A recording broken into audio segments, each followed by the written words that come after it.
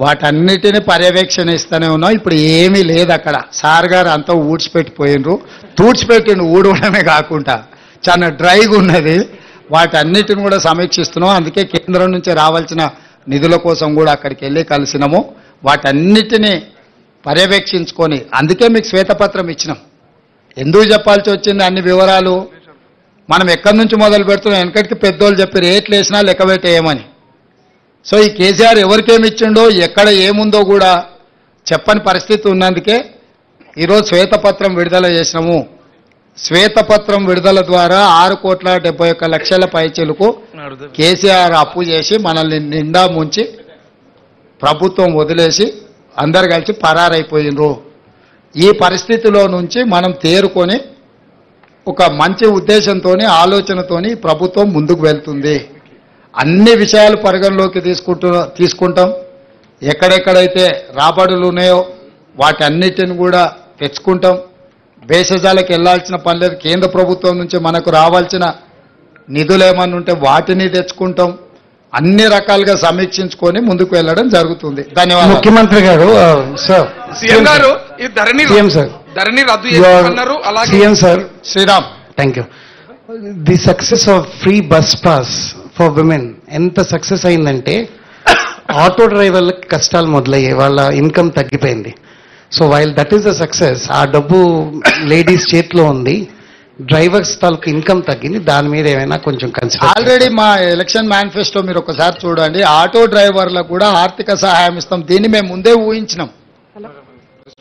ఇది జరిగితే వాళ్ళకి ఏదైనా ఇబ్బంది జరుగుద్ది నష్టం జరుగుద్దన్న ఆలోచన ముందే మా మేనిఫెస్టో కమిటీ చైర్మన్ గారు శ్రీధర్ బాబు గారు గుర్తించే మా ఎలక్షన్ మేనిఫెస్టో కమిటీలో ఆటో డ్రైవర్లకు ఆర్థిక సహాయాన్ని అందిస్తామని చెప్పినాము.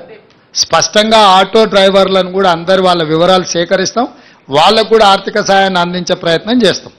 सर बी- आपकी सरकार ने बीआरएस गवर्नमेंट पे ये, आरोप लगाया है कि they have made the state a debt ridden state तो आप इसको कैसे सरप्लस करेंगे और साथ ही साथ जो लोन्स लिए हैं उसको आप कैसे अ, फिर से वापस प्रॉपर स्टेट में लाएँगे? जो मिसयूज करना छोड़ दिए तो स्टेट सरप्लस हो जाएगा। जितना मिसयूज कर दिए कि आदत हो गए उनको। आदत से मजबूर हो गई। केसीआर केसीआर सरकार ने। पिछले सरकार जो भी रिसोर्सेस है मिसयूज करने में उन लोगों का ध्यान है। मिसयूज के अलावा करप्शन तो हमारे सरकार मिसयूज और करप्शन को रोक दिए तो जितने भी वेलफेयर करना है कर देंगे। जितने भी बैंक्स का जो भी पेमेंट करना है, वो भी पेमेंट कर सकते आगे हम डेवलपमेंट के लिए भी हम प्लानिंग कर लेंगे। एंड केंद्र सरकार से जो मिलने वाला है मैचिंग ग्रांट के साथ साथ में जो ग्रांट्स है बहुत सारे ग्रांट्स एंड मैचिंग ग्रांट्स को छोड़ दिए ये पिछले सरकार। तो हम लोग इसीलिए ज़िम्मेदारी से, प्रधानमंत्री जी से हम लोग मिले जो भी पेंडिंग हमारा स्टेट को आने के एक्सचेकर के लिए जो पैसे केंद्र सरकार से आने सब सारे पूछ के आगे हम लगातार उनके बारे में हम केंद्र सरकार से हम हमेशा कंसेंसस बिल करके जो पैसे आने हैं पैसे ले लेके आगे सरकार चलाने वाले हैं। सीएम साहब एक ये सवाल है। क्या क्या लोकसभा चुनाव को लेकर हाईकमान से आपकी कोई दिल्ली में बातचीत हुई है, एक?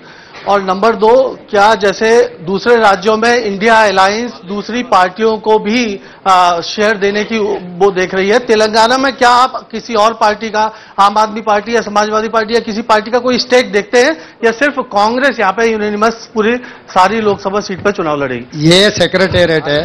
सरकार चलाने के बारे में हम जवाब देंगे। जो आप पॉलिटिकल का मुद्दा उठाए हम गांधी भवन में जवाब देंगे।